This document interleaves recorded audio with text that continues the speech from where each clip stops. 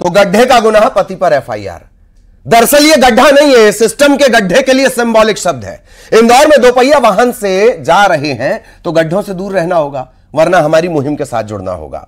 आप पर भी एफआईआर हो सकती है। अगर आप गड्ढे की वजह से गिरे, चोट आई तो ज़िम्मेदारी किसी और की नहीं होगी, खुद आपकी होगी। पुलिस एफआईआर दर्ज कर सकती है। इंदौर में ऐसा ही हुआ। महिला बाइक से गिरकर घायल हो गई, कोमा में चली गई। पुलिस ने महिला के पति पर एफआईआर दर्ज कर ली। शानू गौड़ नाम की यह महिला अपने पति रवि गौड़ और बेटे जियांश के साथ कहीं जा रही थी। सड़क पर गड्ढे की वजह से बाइक गिर गई, शानू को गंभीर चोट लगी, वो कोमा में चली गई। हादसे में पति भी घायल हुआ। गलती गड्ढे की थी, सिस्टम की थी, गड्ढे की वजह से हादसा हुआ। लेकिन पुलिस ने महिला के पति के खिलाफ लापरवाही से गाड़ी चलाने का मामला दर्ज कर लिया। इंदौर की सड़कों पर जगह जगह गड्ढे हैं। ज़्यादातर जगहों की सड़कों पर गड्ढे हैं। इसकी वजह से आए दिन हादसे होते हैं। 2021 से लेकर जून 2024 तक इंदौर में 11,000 से ज़्यादा सड़क हादसे हुए। हज़ारों लोग घायल हुए। इनमें से कई हादसे गड्ढों की वजह से हैं। लेकिन सड़कों की मरम्मत और गड्ढों को भरने की जगह अब गाड़ी चलाने वाले पर एफआईआर दर्ज की जा रही है। फरियादी गुनहगार हो जाए ऐसा कारनामा किया है इंदौर पुलिस ने। वाह!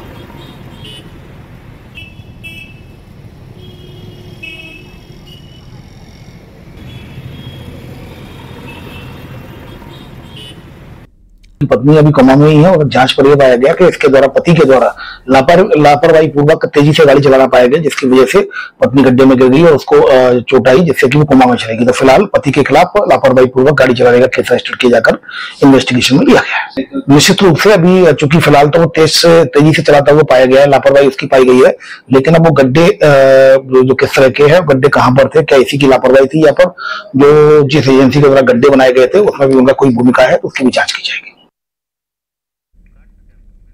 बड़े बड़े जिम्मेदार नेता, अभिनेता संत चिंता ये कर रहे हैं कि रीना अहमद को चिट्ठी क्यों लिख रही है?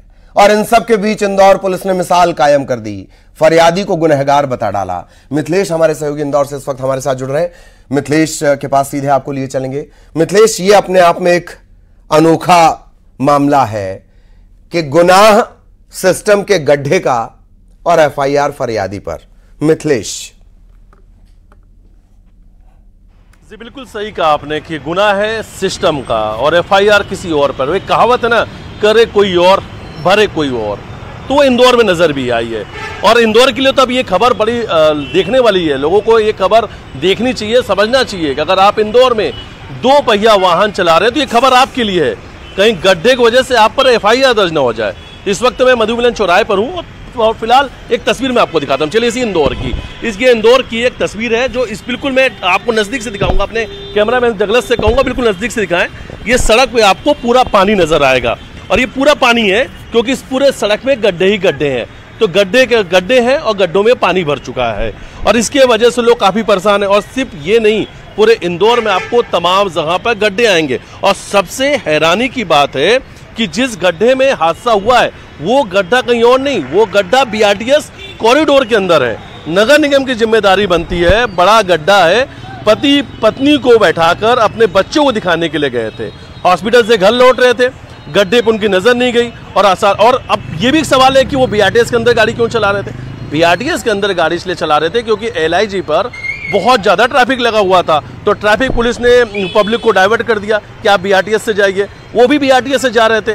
और एल चौराहे चौराहे के पहले एक गड्ढे में उनकी गाड़ी जा, गा, गा, गाड़ी जाने से उनकी पत्नी गिर गई और पत्नी कोमा में इलाज चल रहा है। पुलिस मामला जो है थाने तक पहुँचा। पुलिस ने जाँच शुरू की और पति पर ही एफआईआर दर्ज कर दी। पति को ही गुनेगार बता दिया कि आपने गाड़ी ठीक से नहीं चलाई। आपने लापरवाही से गाड़ी चलाई इसलिए केस आप पर बनता है। एक सिस्टर हमारे साथ उनसे बात करेंगे।